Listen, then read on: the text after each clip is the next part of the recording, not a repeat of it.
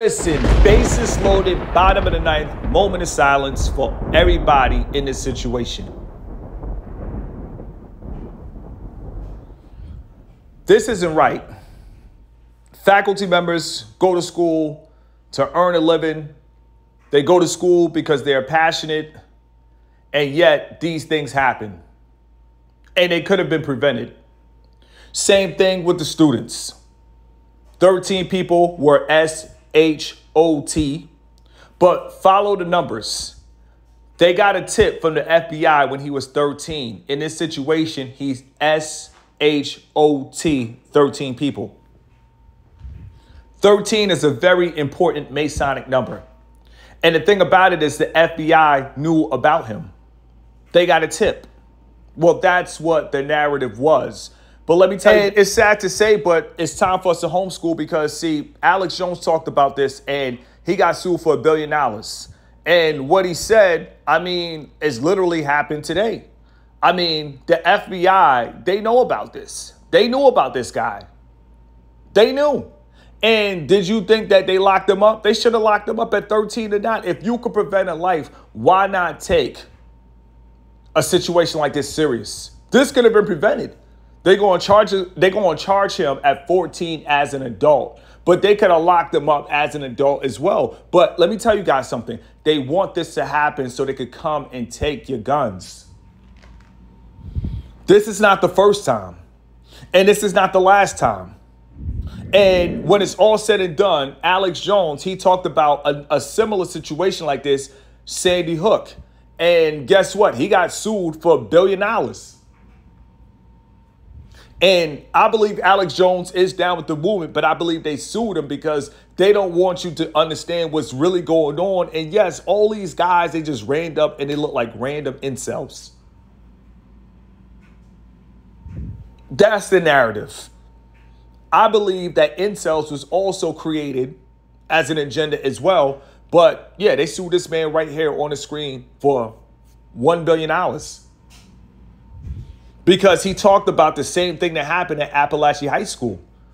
They allowed this. This is allowed. It's the same way when they let people from Venezuela come in. This is allowed. This is what they want.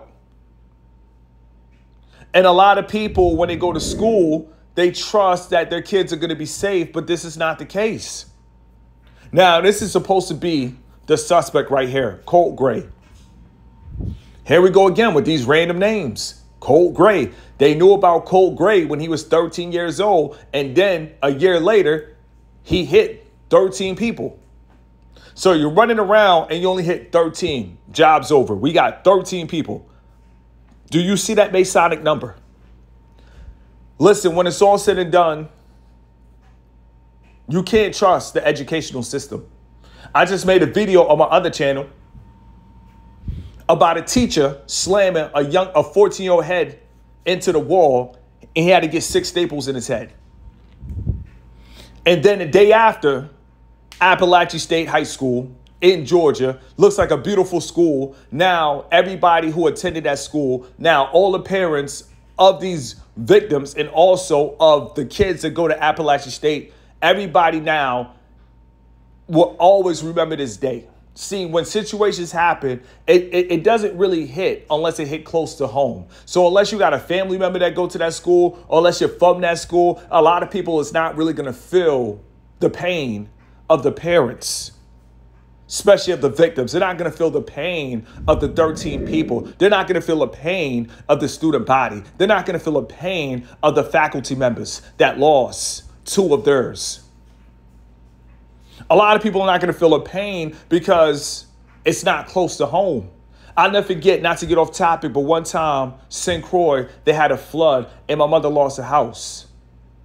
Everybody else at that time in North Carolina, they didn't feel the pain because it didn't hit close to home. But listen, for Appalachian State, to everybody out there, I'm saying in this generation, homeschool your kids. Take your kids out of public school and homeschool your kids. Get your kids out of school because if anybody can just run in with an AR 15 and the FBI knows about them, get your kids out of school. Just homeschool your kids. It doesn't matter if they come out slow, you're the teacher. So if you pass them, that's all that matters.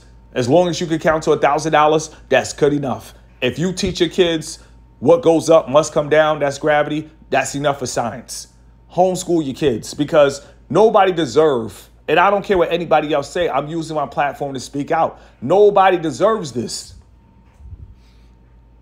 It takes a lot to create a child.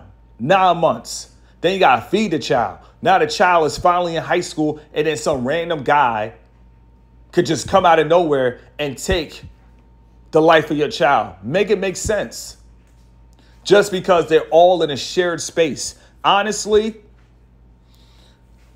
shared spaces are not safe places. And once in a while, I'll go out. Like I said, not to get off topic, I'll do some food reviews, go out to a couple restaurants. But I mean, in this generation, you really got to keep your eyes wide open. You got to keep your head on a swivel because something is going on and there's a frequency and everybody's just running wild. Here the faculty, here's a faculty member, and here's a young man that lost his life. This should have never happened. And for the family members, if you guys watch this video, if this make it, you all need to sue the school. You all need to sue the educational system because there needs to be some type, like they have fire alarm drills, there need to be some type of safety room at a school. Like I'm talking, like I'm talking real solutions. I'm not just making content to make content. We're coming up with real solutions. There must be some type of safe room where if anybody wants to come in any type of high school, middle school, or elementary school, there needs to be some type of safe room where everybody could just get together and be safe and let the person that's out there with an AR 15 stand out there by himself looking stuck on stupid till the cops come and you lock him up and still charge him as an adult with zero ca- with zero casualties. That's what it's all about. We got to be listen, we need to be proactive. Pro, being proactive is the only way to fight. If people come to a school and you hear gunshots, okay, everybody that still hasn't got hit yet, they need to know. Get to the safe room. Get to the safe room. No school has a safe room. And that's the problem. Because whoever that person running around the hall wants to hit, they get hit. And people got to hide behind a desk. You think a desk can protect you? You think a chair could save you? Like, let's be serious. We need some type of safe room. And are the other two victims. Lady she just paying the bills, doing what she got to do, living her life, and now she's no longer here. To the family members, my heart goes out to because, like I said, a lot of people they don't feel things unless they hit close to home. No, forget that. You know, at the end of the day, if we leave this earth, let it be because we, you know, had our last breath. Let it be because of old age. Don't let it be because some person that they knew about was able to just come and take somebody life like a coward. Absolutely not.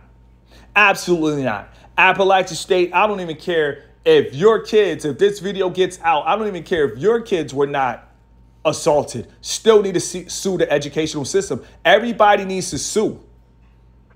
When I mean everybody, I mean everybody needs to sue because at the end of the day, listen, this is now trauma. When I went to high school, the worst thing I ever saw in high school, honestly, was somebody getting hit with a bat after a football game. And it didn't happen while school was in session.